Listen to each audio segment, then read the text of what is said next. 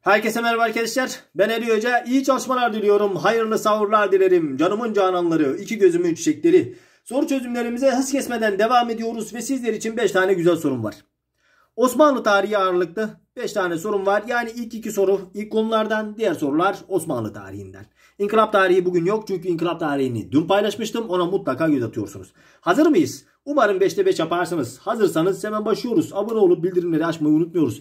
İlk sorumuz İslamiyet öncesi Türk tarihinden. Şöyle yapalım. Tamam. İlk Türk devletlerinde aşağıdakilerden hangisinin hakimiyet sembolü olduğu söylenemez. Şimdi canlarım buna dikkat etmemiz gerekir. Ekstra bilgiler de vereceğim.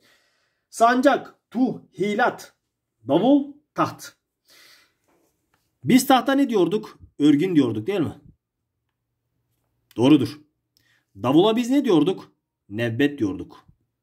Sancağa biz tu ya da flama diyorduk. İkisi birbirini götürüyor zaten. Hilat ne demek? Hilat Osmanlı ile alakalı bir durumdur değerli arkadaşlarım. Yani padişah birini ödüllendirdiğinde ona özel bir kaftan veriyor. Biz buna ne diyoruz? Hilat diyoruz. Tirazla karıştırmıyoruz. Tiraz halife ya da büyük devlet adamları tarafından başkasına gönderilen elbisedir. Okey? Cevabımız hilattır. Padişah ödüllendirdiği kişiye kaftan veriyor. Anlaştık mı? Gelelim özel kaftan ama ha düşünsenize padişah size kaftan hediye etmiş. Yani ne büyük şeref. Diğer sorumuz Moğolların baskısından kurtulmak isteyen Türkmenlerin Anadolu'nun batısına gelmesine ve Batı Anadolu'nun Türkleşmesine sebep olan gelişme aşağıdakilerden hangisidir? Şimdi bu savaş olumsuz bir savaş olarak nitelendiriliyor olabilir. Tarihler 1243 yılını gösterdiğinde Türkiye Selçuklu Devleti ile İlhanlılar karşı karşıya gelmişlerdi. Savaş İlhanlıların üstünlüğüyle sonuçlanmıştır. Şimdi bazı arkadaşlarım diyordum. Hocam İlhanlılar kimlerdir? İlhanlılar Cengiz Han'ın torunu Hülagü Han tarafından kurulan Moğol devletidir. Bu savaşı onlar kazandı ve Türkiye Selçuklu Devleti İlhanlıların egemenliği altına girdi. Ondan sonra ise Batı Anadolu'ya yoğun göç hareketleri yaşandı. Yani Anadolu gitgide Türkleşti. Bu da olumlu tarafı olarak görülür. Cevabımız Köse Dağı'dır. Birinci Haçlı. Şimdi değerli arkadaşlarım Haç Seferi ne zaman başladı? Malazgirt'ten sonra. Yani 11. yüzyılın sonlarında başladı. 1096 yılında başladı. Birinci Haç Seferi Haçlıların galip geldiği tek seferdir. Tek sefer demeyelim de birden fazla sefer olduğu için oraya kafanız kaymasın. Birinci Haç Seferi Haçlıların galip geldiği seferdir. Hatta birinci Kılıç Arslan ne yapıyor? Merkezi İznik'ten Konya'ya taşıyor. Tamam. Ve İslam şehirleri yağmalanıyor. Miryokefalon Savaşı. Hükümdar 2. Kılıç Arslan Bizans'ı bozguna uğratıyor. Bu savaş sonucunda Anadolu'nun Türk yurdu olduğu kesinleşiyor. Yurt tutan savaş olarak bilinir. Baba İshak Türk tarihinin ilk dini nitelikli isyanı olarak bilinir. Türkiye Selçuklu Devleti dönemi. Batınilik faaliyetlerinin artması. Batıniler kimlerdir?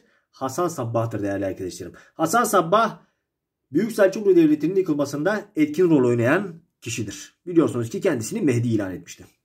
Cevabımız Kösedağ Savaşı olacaktır.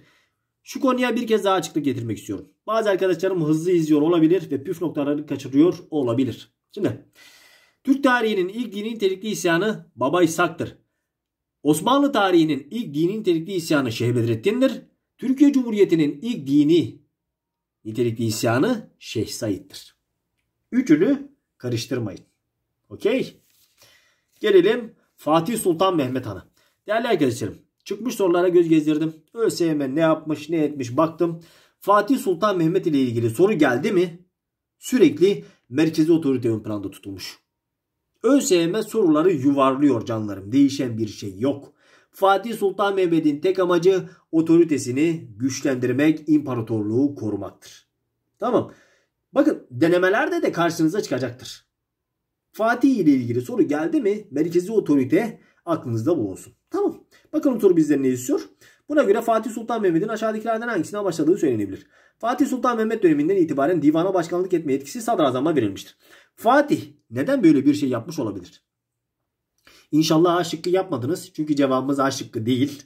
Fatih akıllı bir adam değerli arkadaşlar. Çok akıllı. Onunla ilgili soru geldi mi zekasını ön planda tutun. Cevabımız A şıkkı değil. Tamam sadrazama bırakıldı. Yetkileri arttı ama her şey yine onun elinde. Amacı bu değil. Otomatikman zaten yetkileri artacak. Kendi yetkilerini Fatih kendi yetkilerini mi kısıtlayacak? Değeri. Devlet memurlarının fikirlerini rahat bir şekilde söylemesini. Çok güzel bir yorum yapacağız birazdan. Hazine gelirleriyle ne alakası var lan? Hazine gelirleri için zaten yeni yeni planlamalar yapılacaktı. Topraklarda üretimde sürekli hale getirmeyi bunun için çift bozan vergisi alınıyordu. Çift bozan vergisinin amacı sürekliliği sağlamaktı. Bunu da geçelim. Bununla da alakalı bir şey yok. Şimdi değerli arkadaşlar şöyle düşünün. Osmanlı Devleti'nde yaşıyorsunuz. Ve divan üyesisiniz. Tamam Padişah tahta oturmuş. Siz fikirlerinizi rahatça dile getirebilir misiniz? He? Padişah varken. Getiremezsiniz değil mi? Herhangi ters bir durumda ne olur? Kelle gider. Ama sadrazam varsa siz ne yaparsınız? Daha rahat olursunuz. Fikirlerinizi dile getirebilirsiniz. Ama padişah varsa titreye titreye söylersiniz. Bu durum bu şekilde. Şimdi çoğu arkadaşım demiştir. Bu nasıl iş hocam? Hani demokrasi? Yerse. Çünkü Fatih Sultan Mehmet devleti imparatorluk statüsüne taşıdı. Yani devleti ayakta tutmak o kadar basit değil. Dönemin şartlarına göre biz, bizim bunları değerlendirmemiz lazım. Anlaştık mı? Gelelim diğer sorumuza. Sorumuz şöyle. Şöyle şöyle. Osmanlı Devleti'nde aşağıdaki saatlerden hangisinin 18. yüzyılda gerçekleştiği söylenemez. 18. yüzyıl Osmanlı gerileme dönemi. Avrupa'da ilk geçici elçilikler açıldı. Ne zaman? Lale Devri döneminde değil mi? Yani 3. Ahmet döneminde. Doğrudur. İlk kağıt fabrikası nerede açıldı? Yalova'da açıldı. Doğrudur. İlk devlet matbaası 3. Selim. Bakın. Püf noktaları veriyorum size. İlk matbaa Lale Devri. İlk devlet matbaası 3. Selim.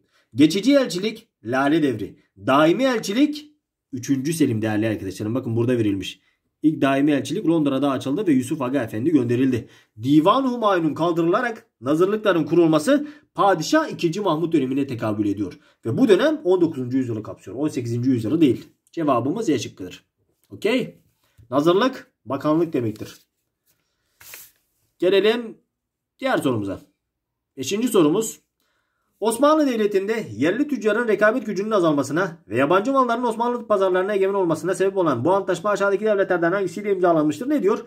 1838'de imzalanan Baltimore'un ticaret antlaşmasına göre e, gümrük vergisi ihracatta %12 olurken ithalatta %5 olarak oho, vah hey hani gelir hani gelir.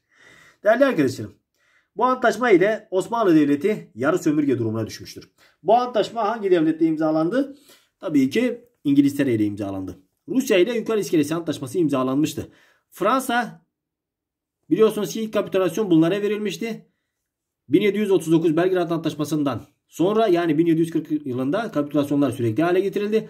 Almanya ile 19. yüzyılın ikinci yarısında yakınlaşma başlayacaktı. 2. Abdülhamit döneminde Avusturya ile ilişkiler 18. yüzyılın sonlarında iyileşmeye başlayacaktı. Cevabımız İngiltere'dir. Umarım işinize yaramıştır. Bir sonraki paylaşımda görüşmek dileğiyle. Bilgiyle kalın, tarihiyle kalın, kültürle kalın. Hoşçakalın.